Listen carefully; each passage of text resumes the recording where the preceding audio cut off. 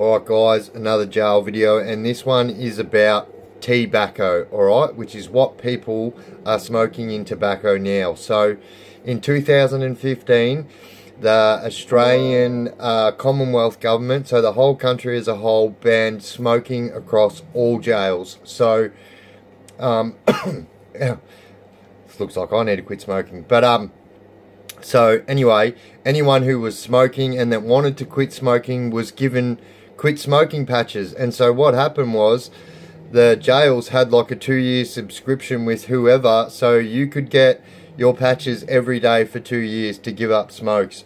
And so, believe it or not, people were using these nicotine patches to smoke with. So, get a hold of this. So, some bright spark has thought, okay, so if there's nicotine in this, it's got to be the same nicotine that's in tobacco.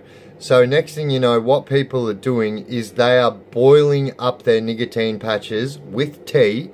So I've seen so many different ways of doing it, but basically what they were doing was getting like two um, nicotine patches and then making like a pocket with them and filling it up with tea, normal tea and then what they were doing they were either putting it in the microwave some people were putting them in kettles and just letting them boil over and over and over and over. So all the sticky stuff even the glue and everything goes inside these things you know?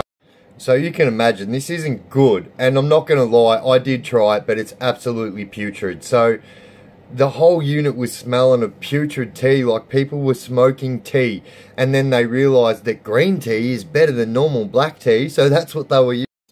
And so people were getting stood over for their nicotine patches. So you could get seven nicotine patches a week, right? And so people were getting stood over and stabbed for their nicotine patches, which was absolutely bonkers.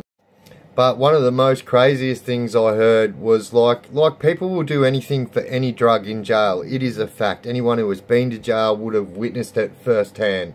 So actually one day this guy actually died from injecting um, the nicotine patch. So um, you know, that there is this thing where people get morphine patches and they soak all the morphine out of it and then they inject it, right? So this bright spark has thought, hang on a minute, can I do that with a nicotine patch? So he absolutely did that, injected it straight into his arm and he died. So you know, like I always say and I keep on saying, I don't promote this. This is absolutely what you don't want to do, guys. This is so you guys can see this and say, I don't want to do it. So if you guys would like to know anything else about jail, just let me know and we'll get it done. You, you!